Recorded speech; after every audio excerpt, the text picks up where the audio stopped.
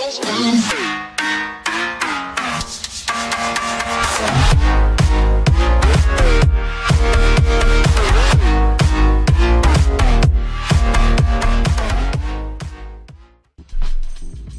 damit herzlich willkommen, liebe Clasher, bei mir, dem Thorsten Akatoto, beim Clan Tuvoras. Ja, unser King soll auf seine letzte Reise gehen und wir brauchen noch so ein bisschen was an Ressourcen für ihn. Es ist nicht mehr viel, aber es ist noch eine ganz, ganz kleine Ecke und die kleine Ecke, glaube ich, können wir hier unten eben mal mitnehmen. Dann lenken wir hier eben mal die Devs so ein bisschen ab von von den Kobolden. Dann können die sich das ähm, Gold und Elex hier eben wegsnaggeln. So. Ich habe äh, jetzt in den letzten Tagen wirklich nur auf Schmalspur ähm, rumgefarmt hier. 39, da fehlt ja noch ein Lager. Ah, das da hinten, okay. Das war schon, ja. Kurze, schnelle Farmkämpfe. Und ähm, mit knapp 2,7 an dunklen der Rest ist auch okay. Wir brauchen 180.000 für unseren King auf Level 40. Und ähm, trotzdem würde ich sagen, oh, jetzt habe ich natürlich äh, eine richtig heftige Truppe dabei. Ähm, ja, das ist egal. Die verbraten wir jetzt eben mal. Und äh, dann haben wir ein bisschen mehr Dunkles. Und der King kann noch mal richtig ausschlafen. Nämlich indem er jetzt noch mal richtig Terz macht hier in den Bases. Mal gucken. So, schauen wir mal, wie das so geht. Ähm, ich habe heute übrigens die Webcam wieder eingebaut ähm, in Vorbereitung für den Stream, der voraussichtlich am 3.5. kommt. Denn äh, so plane ich das so ein bisschen. Der wird auch nicht ähm, tagsüber laufen, sondern ich werde das abends machen. Denke so wieder halb acht, acht ist wieder eine gute Zeit für mich, ähm, mit den Stream anzufangen. Und äh, das Ganze bereite ich so ein bisschen vor. Ich habe mal ein bisschen jetzt in mein, in mein Overlay so eingebaut und ähm, boah, den hier könnten wir eigentlich mitnehmen. Der hat so ein bisschen was an Ressourcen für uns. Na, die Bohrer sind jetzt natürlich weit weg. Das ist aber egal. Wir machen das mal. So, jetzt gucken wir mal, dass hier schon so ein paar, paar von den Jungs hier reinlaufen können. Dass wir wenigstens noch ein bisschen Gold kriegen auch. Das sieht ganz gut aus.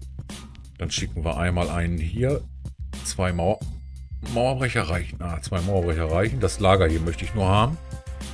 Und ähm, das Lager hier hinten an der, an der, an der Stelle auch.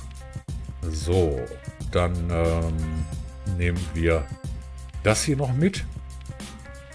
Ja. Und hier oben auch noch. Jeweils mit zwei Riesen rein.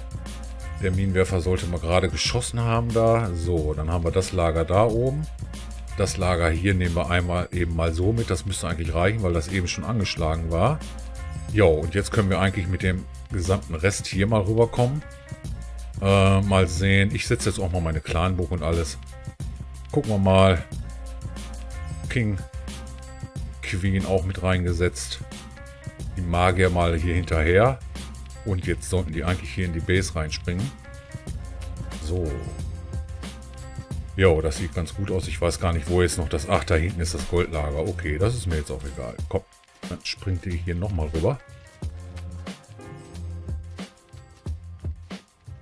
Ah, springt keiner mehr rüber. Okay, springt keiner mehr rüber. Ah, doch. Oh, doch, doch, doch, doch, doch. Doch, doch, doch, doch, doch. Da springt noch was. Ah, okay. Komm, Rathaus. Ja, gut. Wunderbar.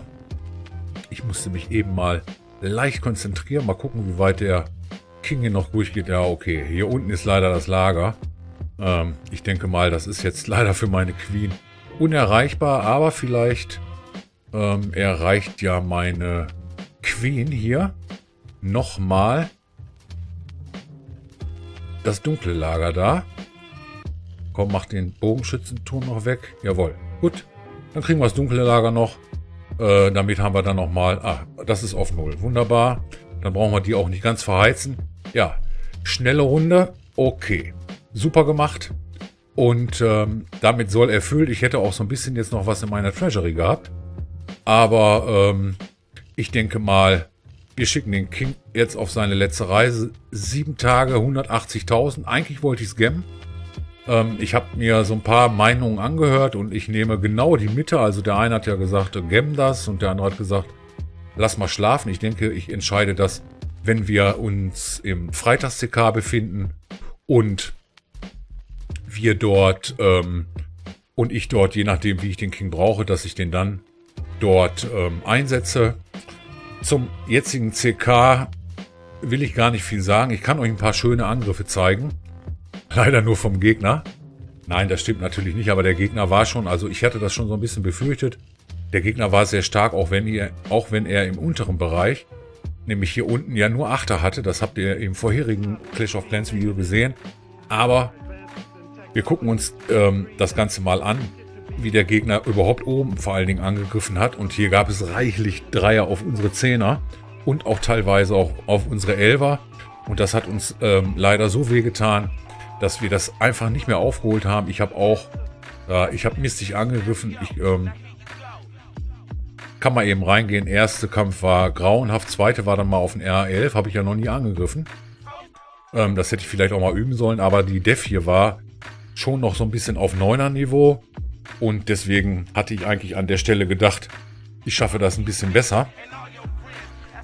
Komme eigentlich auch ganz gut rein. Ich wollte hier unten mit ein oder zwei Valkyren das Lager wegmachen und auch das Armeelager, damit die Queen im oberen Bereich bleibt. Das ist mir, glaube ich, auch ganz gut gelungen. Und ich komme auch mit meiner Queen eigentlich ganz gut hier in die Base rein. Die hat, die läuft noch gar keine Gefahr jetzt. Mache jetzt gleich mit ein paar Mauernbrechern hier schon mal die Mauern auf. Ja, nicht ganz geschafft, aber die Queen braucht dann noch ein, zwei Mal reinschießen. Und dann war ich eigentlich in der Base. War bis dahin alles noch gut. Jetzt kriegt die aber doch schon von drei, vier Sachen hier Beschuss. Jetzt habe ich sie gezündet. Ähm, warum auch immer. Ich hätte sie vielleicht nur etwas eher ragen sollen. Das habe ich ein bisschen zu spät getan. Und äh, somit hatte ich jetzt eigentlich meine beste Waffe hier schon verfeuert. Jetzt komme ich von oben vom ähm, über das Armeela, äh, über das Labor mit meinen restlichen Truppen rein und habe gedacht, dass meine Mauerbrecher alle verrecken. Ja, aber wenn ich jetzt nochmal reingucke, ähm, die Mauer war auf. Ja, da setze ich dann meinen Sprung. Ah, da habe ich auch nur so, habe ich so gemacht. Ai. Der Sprung. Ja, okay, jetzt ist er jetzt halt da. Ja, und ähm, der Fries jetzt gleich am Ende. Also ich habe mir eigentlich noch ein bisschen was aufgespart gehabt, nämlich die Walküren hier, weil jetzt, könnt, jetzt konnten die Truppen nicht mehr anders gehen und da sollte eigentlich der Sprung sitzen. Äh, das war wirklich ein bisschen doof von mir. Ich habe jetzt damit auch nicht gerechnet, dass die Riesen da so, so stark durch die Mauern gehen und jetzt der Fries ist wieder episch. Ja, die Clanburg gefriest, wunderbar. Thorsten, der war so richtig für den Arsch. Das müssen wir üben. Das müssen wir üben. Ich meine, gut, ein Stern ist geworden. Und ich weiß jetzt auch, ja, der King geht gut durch. Die beiden Inferno standen auf Single äh, standen auf Multi. Deswegen hauen die gar nicht so stark zu, aber der King quält sich natürlich da hinten durch die Mauer. Und ähm, ja, der Angriff war, also ich fand, für mich war der Angriff scheiße, aber ich weiß, dass es, dass es geht und dass auch sicherlich ein bisschen mehr geht. Ähm, Im RH 9 Bereich haben wir nichts anbrennen lassen. Wir haben es einfach wieder versäumt, dass wir mit unseren Zehnern hier die Zehner zumachen. Muss man ganz klar sagen. Aber unsere Elfer mussten halt oben ran, denn oben waren auch teilweise nur ein Stern auf die Bases hier. Und deswegen ähm, mussten unsere Elfer hier im oberen Bereich auch noch ein bisschen was tun. Bei uns müssen die Zehner, die hohen Zehner, ich gehöre unter Umständen auch mit dazu, ähm, einfach Elfer mit zwei Sterne belegen und ähm, so oder so wie der Hocke das eigentlich hier macht mit dem Zehner, ähm, nämlich drei Stern auf so einen Zehner hier. Ähm, andere haben letztendlich nicht schwächere Helden oder einen schwächeren Warden, teilweise sogar noch stärker und, und bei gleichen Truppen, muss ich dazu sagen. Und trotzdem ähm, schaffen wir es dann manchmal nicht, hier drei Sterne rauszuholen aus solchen Bases. Warum auch immer, das liegt ja in jeder Hand selber. Auch in meiner Hand lagen ja meine Angriffe. Und ähm, ich war vor allen Dingen bei dem Elver-Angriff oder auf, bei dem Angriff auf die Elf. Ich wusste, dass ich die Elver-Base machen musste. War ich auch ultra nervös, muss ich sagen. Und auch, auch wenn die Def ja noch RH, teilweise RH9 ähm, Niveau war, ist da doch irgendwo so ein Borden, der einen so ein bisschen abschreckt und auch der Adler schreckt dann so ein bisschen ab und die tiefstehenden Helden. Aber ich, ich denke mal, meine Zauber ein bisschen besser gesetzt und ähm, die Truppen noch ein bisschen anständiger gesetzt, vielleicht ein bisschen gewartet, dann äh, wär das, wären das zwei Sterne geworden. Hm, ist nun mal nicht so gewesen. Äh, hier, wie gesagt, hier im oberen Bereich, haben uns echt wirklich schwer getan. Im, im ähm, RH9-Bereich ähm, eigentlich umso weniger. Ich muss mal eben schauen, was der Loop hier gemacht hat. Ja, ja, die Neuner waren ja relativ hoch, aber ähm, die, die Elfer hier und auch die Neuner, Zehner waren gut organisiert vom Gegner. Also waren ein schöner CK und der Gegner war erwartend stark. Also von daher geht auch eine Niederlage vollkommen in Ordnung. Und ähm, was ich eigentlich gut fand, muss ich sagen, was ich nicht erwartet habe, die Achter im unteren Bereich, muss man eben was schauen. Jo, das sieht noch gut aus. Ähm, ab und zu stürzt mein Aufnahmeprogramm ab. Ich weiß noch nicht, woran es liegt. Und das wäre natürlich hinderlich im Stream. Ich weiß zwar mittlerweile, wie ich das ganz, ganz schnell wieder fixen kann, aber trotzdem würde mich das total ankotzen, wenn genau im Stream die Software abstürzen würde. Und ähm, deswegen lasse ich die jetzt äh, stundenlang hier laufen teilweise, um zu gucken, woran kann es zicken. Lass so, so einen Debugger mitlaufen, um zu gucken, ähm, an welcher Adresse hat es unter Umständen gehakt. Das kann man dann ähm, rausrechnen ob das Sound war, Grafik war oder Programmfehler war. Und ähm, deswegen lasse ich im Moment, wie, wie gesagt, äh, stundenlang hier mein Aufnahmeprogramm einfach mitlaufen, wenn ich hier Clash of Clans spiele oder auch Clash Royale.